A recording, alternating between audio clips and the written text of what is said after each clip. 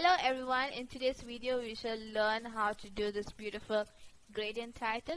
So let's get started. So I'm going to write down the code and explain it as I go so that you guys can understand. So I'm going to start off with uh, a text.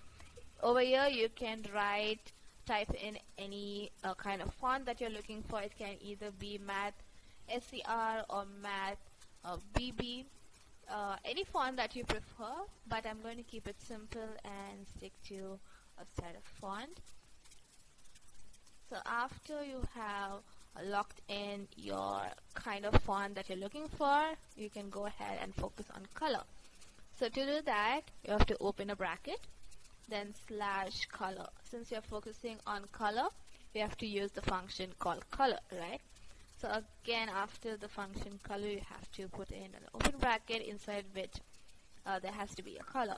So I'm going to use a color code right now and the color code is 8683CE you have to close it otherwise the color won't work right? So you're going to go ahead and give it a space.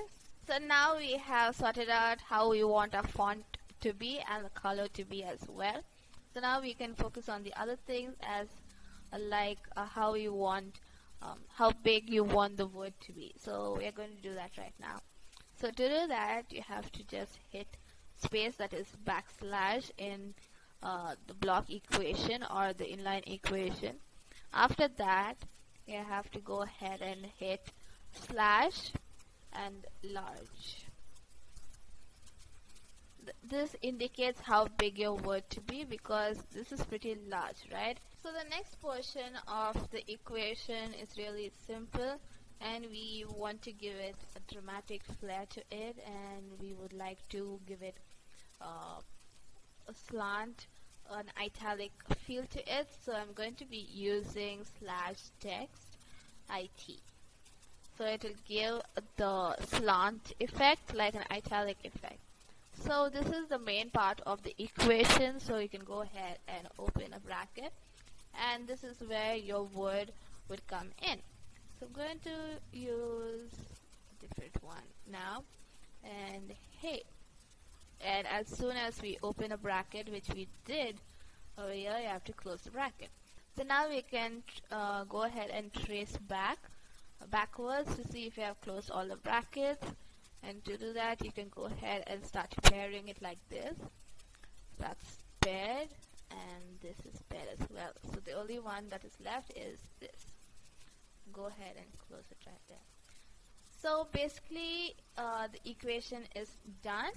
But in case you want to add two three lines of different colors like the one that you're seeing on the screen uh, you can go ahead and type in double slash which basically means you have to um, it's like a stack but it's the next line you know?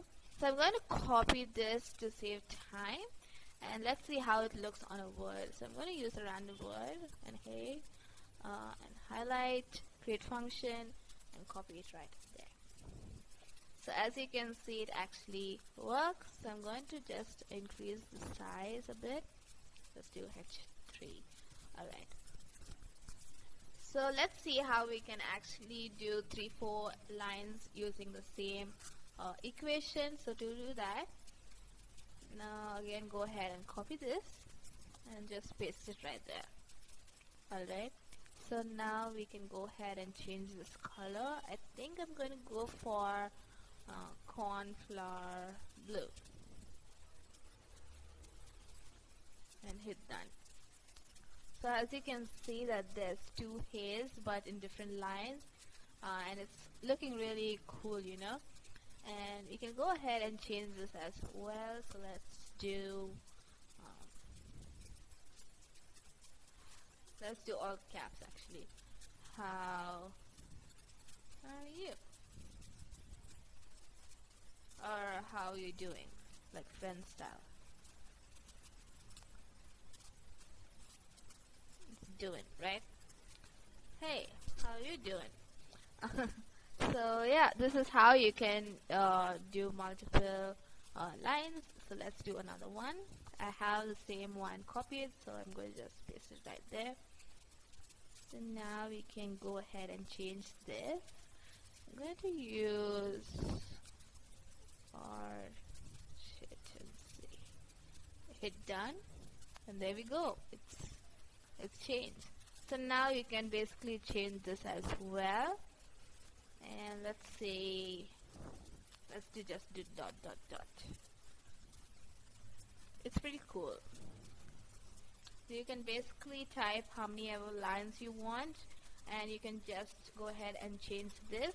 And you can change the you can change the color and you can change the text. Uh, so yeah. So that's how you get a gradient title and I hope you learned something from this video and I'll see you in the next one. Bye